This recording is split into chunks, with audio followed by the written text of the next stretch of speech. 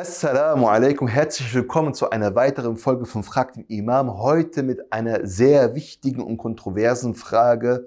Muss man als Muslim eine Rechtsschule befolgen oder nicht? Mein Name ist Farid Haider. Wenn ihr keine weiteren Videos verpassen wollt, dann abonniert unseren Kanal.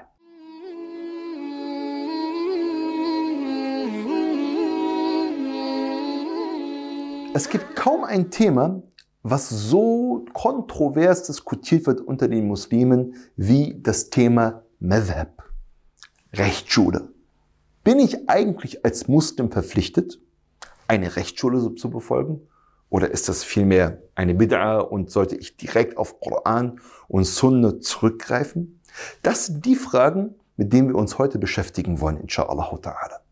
Und ich bitte euch wirklich, das Video bis zum Ende anzuhören, damit ihr auch ein eine Gesamtübersicht zu diesem Thema habt, weil wir auch gerade am Ende des Videos auf wichtige praktische Fragen für uns Muslime in unserem Alltag hier in Europa eingehen werden, inshallah ta'ala. Grundsätzlich müssen wir zunächst erst einmal verstehen, dass es zu diesem Thema zwei Extrempositionen gibt.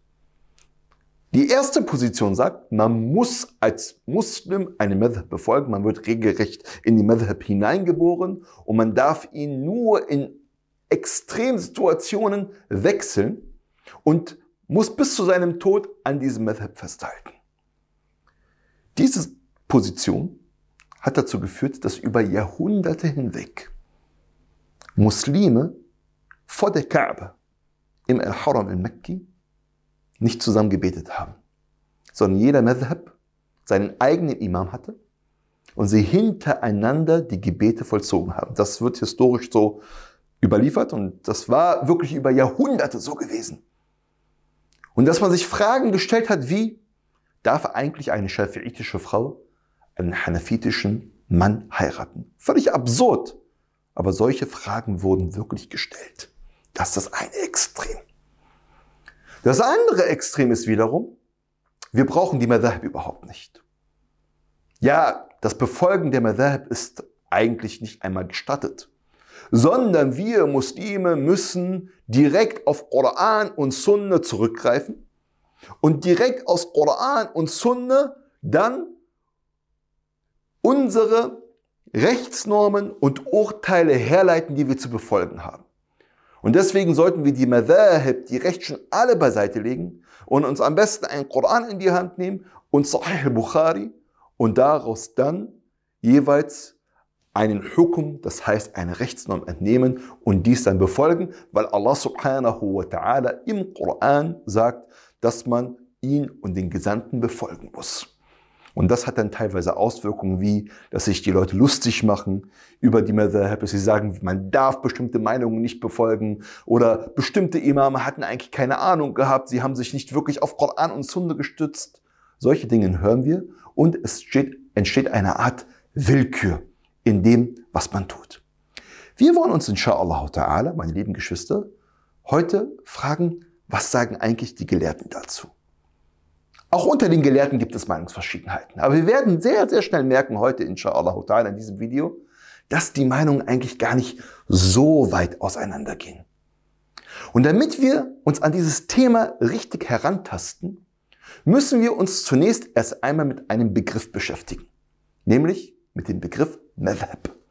Was ist überhaupt ein Madhab? Madhab kommt von dem Verb dhahaba. Und dhahaba ist gehen. Das heißt mit anderen Worten, einen bestimmten Weg beschreiten. Und was ist ganz konkret jetzt damit gemeint? Madhab wird ja immer als Rechtsschule übersetzt. Gemeint ist damit die Methodologie, das heißt die Vorgehensweise eines bestimmten Gelehrten, der dann daraufhin Anhänger hatte, die seine Vorgehensweise und Methodologie übernommen haben, um aus dem Koran, aus der Sunna, das heißt aus den primären Quellen des Islam, dann für die Muslime Rechtsnormen herzuleiten. Also zu sagen, ob eine Sache halal ist, erlaubt ist, oder ob sie verboten ist, ob sie gültig ist wie ein beispielsweise Handelsvertrag oder ob sie ungültig ist. Nur als Beispiel. Das ist ein Madhab. Und in diesem Sinne haben die Gelehrten gesagt, dass eigentlich ein normaler Muslim, der sich nicht auf dem Fiqh, das heißt auf die islamischen Rechtswissenschaften, die islamische Jurisprudenz spezialisiert hat und diese studiert hat, dementsprechend auch keinen Madhab haben kann. Weil wann kann ich davon sprechen, dass ich ein Maliki bin, also die malikitische Madhab befolge, oder ein Shafi'i, wenn ich mich wirklich intensiv mit den Grundlagen dieser Rechtsschule, dieses Madhabs beschäftigt habe und auseinandergesetzt habe. Wenn ich verstehe, wie Imam Malik ganz konkret seine Urteile hergeleitet hat, dann kann ich sagen, ich bin Maliki. Aber wenn ich eine Ami bin, das heißt jemand, auf Deutsch übersetzt, der ein Laie ist, der sich mit dieser Sache überhaupt nicht auseinandergesetzt hat, der noch nie ein Fiqh-Buch in der Hand gehalten hat, dann kann ich nicht von mir sagen, ich bin Shafi'i oder ich bin Hanbali oder ich bin Maliki. Das ist das allererste, was uns zunächst erst einmal klar sein muss. Und deswegen haben die Gelehrten eine Regel festgelegt, in der sie gesagt haben, und wir werden unter Allah unten noch einmal die jeweiligen Zitate dann auch nochmal in den Text verlinken, damit man auch das nochmal selbst nachprüfen kann, inshallah. Madhhab. Der Laie hat kein Madhab. Al-Ami la madhhab lahu. Der Laie hat kein Madhab. Warum? Weil er einfach nur Taqlid macht. Das heißt, er befolgt einfach die Gelehrten, ohne ihre Argumentation wirklich nachvollziehen zu können. Es ist genauso, nur damit es etwas klarer wird, wie wenn ich zum Arzt gehe und ich kenne mich mit Medizin überhaupt nicht aus. Ich vertraue dem Arzt einfach. Ich vertraue seiner Diagnose.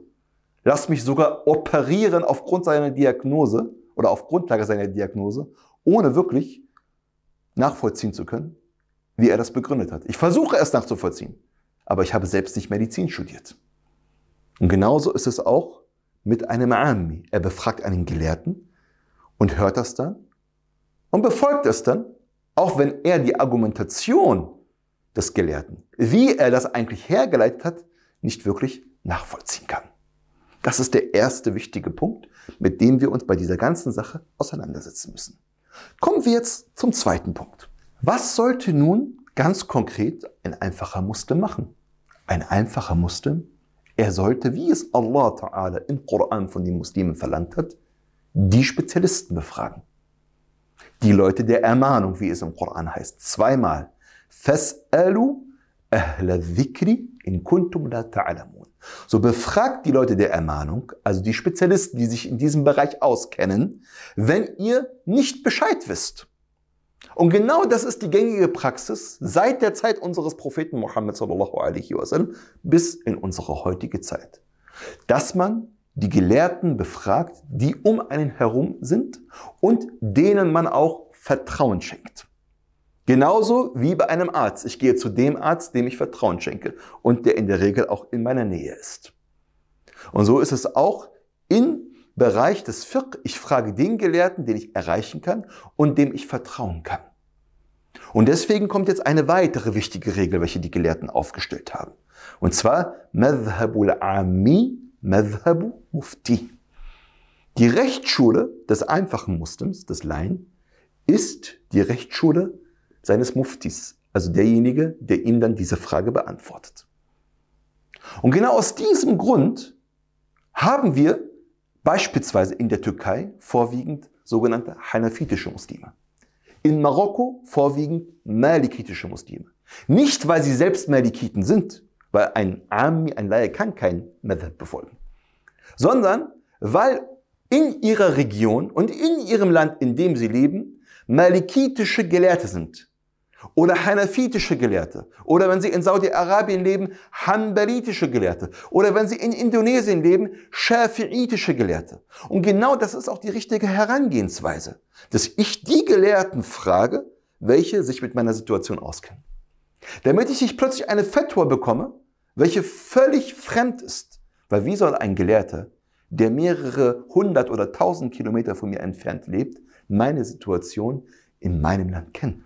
An dieser Stelle stellt sich eine andere wichtige Frage. Und zwar, kann ich eigentlich jetzt die Rechtsschulen miteinander mischen? Also, dass ich Gelehrte frage aus unterschiedlichen Rechtsschulen und dann im Grunde genommen von der Rechtsschule etwas habe in einem Bereich und von der anderen Rechtsschule in einem anderen Bereich etwas habe und das nennt auf Arabisch Telfiq, also zusammennähen, zusammenflicken. Ist das möglich oder ist das nicht möglich? Grundsätzlich ist das erst einmal möglich. Weil am Ende kommt es darauf an, dass ich Allah und den Gesandten befolge. Und die Meinungen der Gelehrten und auch der Rechtsschule sind am Ende nur Mittel zum Zweck. Sie ermöglichen es mir, auf beste Weise Allah und den Gesandten Muhammad sallallahu alaihi wasallam zu befolgen. Jedoch muss ich auf bestimmte Dinge Acht geben. Das erste, worauf ich Acht gebe, ist meine Absicht. Warum mache ich das überhaupt? Mache ich das, um mir dann immer die Meinung einzuholen, die meiner Neigung entspricht? Das wäre falsch. Und Allah Ta'ala erkennt meine Neigung. Und er weiß ganz genau, was meine Absicht ist. Und das ist dementsprechend dann auch verboten, wenn ich es mit dieser Absicht mache. Das zweite, worauf ich Acht geben muss, ist, dass ich mir nicht etwas zusammenmixe, was überhaupt keine Grundlage hat. Und was überhaupt kein Gelehrter sagt. Und das kann ich verhindern, indem ich wirklich bei jeder Sache jemanden befrage, der fundiertes Wissen hat und dann ihn in dieser Frage befolge und somit auf der sicheren Seite bin, dass ich nichts Falsches mache. Eine weitere Frage, die aufkommt, ist natürlich, darf ich eigentlich jetzt eine Rechtsschule befolgen? Ist das möglich? Ja, es spricht nichts dagegen. Die Gelehrten haben gesagt, Taklid, das heißt, dass ich einfach eine Rechtsschule befolge, das ist durchaus möglich. Und das kann man machen. Das kann auch eine große Erleichterung sein. Beispielsweise, wenn es darum geht, das Gebet zu erlernen oder zu fasten. Das ist eine sogenannte Ruchsa, das heißt eine Erleichterung für die Muslime. Weil man müsste sich mal vorstellen, dass jeder Muslim selbst immer wieder entscheiden müsste, welche Meinung er jetzt zu befolgen hat und welche Meinung jetzt näher am Koran und der Sunde ist. Das ist sehr, sehr schwierig für einen Army, eigentlich schon fast unmöglich für einen Army, also für einen Laien. Und dementsprechend ist es natürlich möglich. Aber wir müssen uns über eine Sache im Klaren sein. Dass das Befolgen einer einzigen Rechtsschule heutzutage in der Regel nur möglich ist in bestimmten Bereichen. Das heißt beispielsweise in den Bereichen der Ibadat, also der gottesdienstlichen Handlung, wie ich bete, wie ich faste, wie ich die Hajj vollziehe.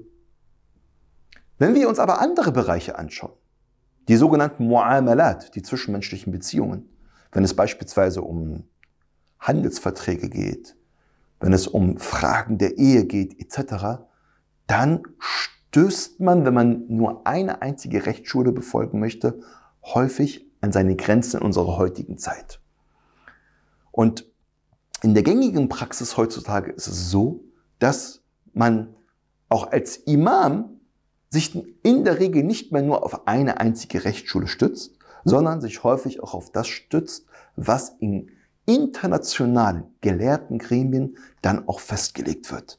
Weil es gibt viele Fragen der heutigen Zeit, auf die eine Rechtsschule nicht mehr eine Antwort geben kann, sondern wo man manchmal sogar über die vier Rechtsschulen hinaus nach Meinungen suchen muss, weil es gibt ja nicht nur diese vier Rechtsschulen, das sind die etablierten Rechtsschulen. Es gibt ja noch andere Meinungen außerhalb dieser vier Rechtsschulen. Und ich möchte nur ein gängiges Beispiel nehmen aus unserer heutigen Zeit, womit man gerade auch als Imam immer wieder konfrontiert wird, wenn es beispielsweise um die Frage der Scheidung geht. Nur ein Beispiel. Viele, gerade unter arabischen Muslimen ist das sehr, sehr verbreitet, sprechen die Scheidung in einer Sitzung dreimal aus. Dann kommt der Mann zu dir und er bereut das und sagt, ich habe das eigentlich gar nicht so gemeint, ich habe das gemacht. Und äh, ja, bereue das jetzt im Nachhinein. Wenn man jetzt nach der Meinung der vier Rechtsschulen geben würde, würde diese Ehe geschieden sein. Das heißt, du hast eine Familie getrennt. Man kann sich vorstellen, was es bedeutet, gerade auch für Menschen hier in Europa, in einer nicht-muslimischen Gesellschaft. Und aus diesem Grund greifen viele Imame, und ich gehöre dazu, auch auf Meinungen außerhalb der vier Rechtsschulen zu. Wie beispielsweise die Meinung von Sheikhul Islam ibn Taymiyyah, dass dieser Talaq entweder gar nicht gilt oder nur als einmal gilt. Das hat schon viele Familien gerettet. Man könnte jetzt natürlich sagen, man muss strikt die Meinung der vier Rechtsschulen befolgen.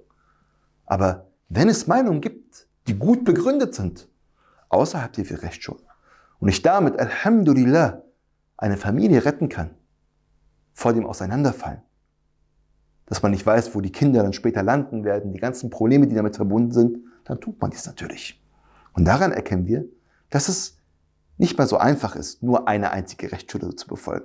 Und dass das meistens nur möglich ist in einem bestimmten Bereich, der dich individuell betrifft, aber nicht mehr in dieser komplexen Welt, wo man auch komplexe Antworten benötigt und auch manchmal bestimmte Meinungen, selbst wenn die vier Rechtsschulen das sagen, überdenken muss, um Antworten für unsere heutige Zeit zu finden.